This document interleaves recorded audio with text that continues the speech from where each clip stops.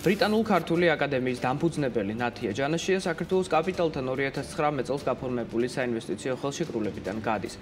ამ გადაწყვეტილების მიღების მიზეზად აკადემიის პარტნიორი და დირექტორი ინვესტორის მხრიდან ხელშეკრულებით ნაკისრი ვალდებულებების შეუსრულებლობას ასახელებს. როგორც ბიზნეს ვუმენმა ბიზნესის კვირეულში განაცხადა, საქართველოს კაპიტალმა სკოლას საინვესტიციო წინადადებით 5-6 წლის წინ მიმართა და სკოლის წილის სანაცვლოდ ოქროყანისა და ლისის ტერიტორიაზე ორი ახალი კამპუსის აშენების ვალდებულება აიღო. მაგრამ როგორც ნათია მათია ჯანაში ამბობს საქართველოს კაპიტალს კომპანიაში ფულად ინვესტიცია ამ დრომდე არ ჩაუდია. ბრიტანულ-ქართული აკადემიის დამფუძნებელი ნათია ჯანაშია BMG-სთან საუბრისას აღნიშნავს იმასაც, რომ აკადემია ბრიტანული საერთაშორისო სკოლების საბჭოს აკრედიტაციის დაკარგვის რისკის წინაშე დგას. დაახლოებით 5-6 წლის წინ საქართველოს კაპიტალი მოვიდა ჩვენთან შეთავაზებით, გაეკეთებინა ინვესტიცია წილის ნასყიდობის სანაცვლოდ ორი ახალი კამპუსის მშენებლობაში, ლისის და ოქროყანის კამპუსის მშენებლობაში. ჩვენი სკოლა ძალიან წარმატებული იყო იმ პერიოდისთვის და დღესაც არის. ჩვენ არ ვეძებდით აქტიურად ინვესტორს. შესაბამისად, ნუ რამდენჯერმე უარით გავისტუმრეთ. თუმცა შემდეგ დაგვაინტერესა აა სტრაფის ზრდის შესაძლებლობა, რომ რაც შეიძლება მეტი ბავშვისთვის მიგვეცა ხარისხიანი განათლების მიღების შესაძლებლობა. და შესაბამისად მივახციეთ გარკვეულ შეთანხმებას წილის ნასყიდობასთან დაკავშირებით, რომელიც ასევე გულისხმობდა, როგორც თქვი, ორი კამპუსის მშენებლობის მშენებლობაში ინვესტიცია. გავიდა დრო და საქართველოს კაპიტალს არ გაუკეთებია არანაირი 5 წლის განმავლობაში არ გაუკეთებია არანაირი ფულადი ინვესტიცია ბრიტანიდან დღემდე. დიახ, ბრიტან ქართულ აკადემიაში. სკოლამ საკუთარი სახსრებით, როგორც 16 წლის მანძილზე ვახორციელებთ ჩვენ ინვესტიციას, ისე ამ ბოლო 5 წლის განმავლობაში განახორციელა 38 მილიონი ინვესტიცია სკოლაში.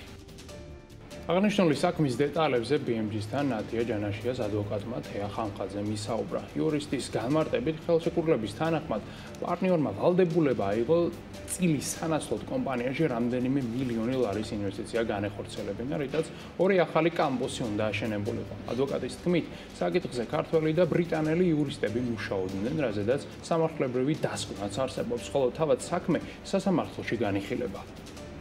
პირველ რიგში იმას ვიტყვი, რომ ამ საკითხთან დაკავშირებით მუშაობდნენ არა მხოლოდ ქართველი იურისტები, ბრიტანელი იურისტები სამართლებრივი დასკვნაც არსებობს და როდესაც ჩვენი პოზიცია და ბრიტანელი იურისტების პოზიცია ერთმანეთს დაემთხვა და შევჯერდით სამართლებრივ საკითხებზე, მხოლოდ მას შემდეგ მივმართეთ სასამართლოს. როგორ შეჯერდა და როგორ ჩამოყალიბდა ეს არჩილში. აქ არ არის ადგილი არ აქვს მხოლოდ წილის ნასყიდობას, როგორც ეს ამას მეორე მხარე თავის განცხადებაში წერს.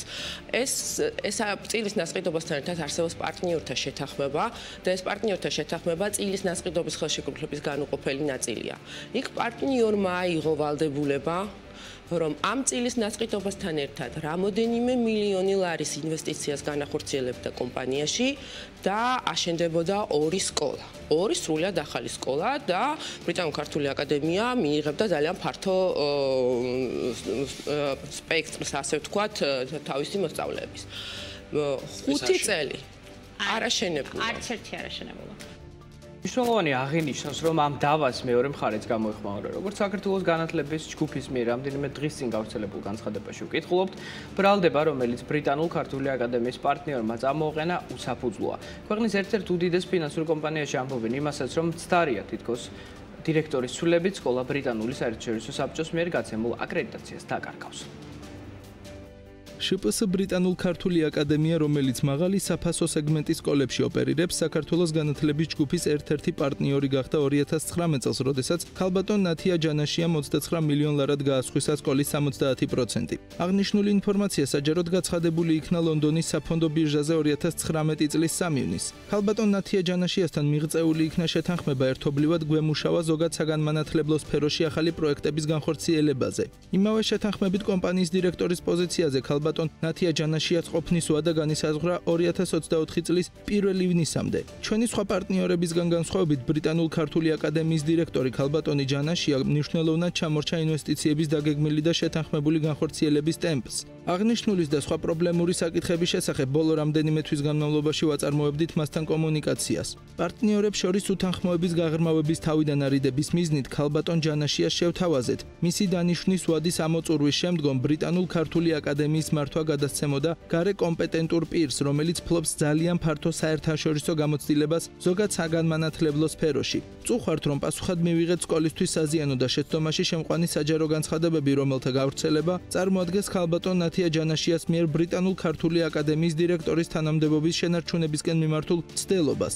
აქვე გვინდა დავაზუსტოთ, რომ ცდარია განცხადებები იმის შესახებ, რომ სკოლა სამეწარმეო რეესტრში რეგისტრირებული დირექტორის ცვლილები დაკარგავს ან რაიმე რისკის ქვეშ დააყენებს ბრიტანული საერთაშორისო სკოლების საბჭოს აკრედიტაციას. ეს პირველ რიგში საქართველოს განათლების ჯგუფის ინტერესში არ შედის.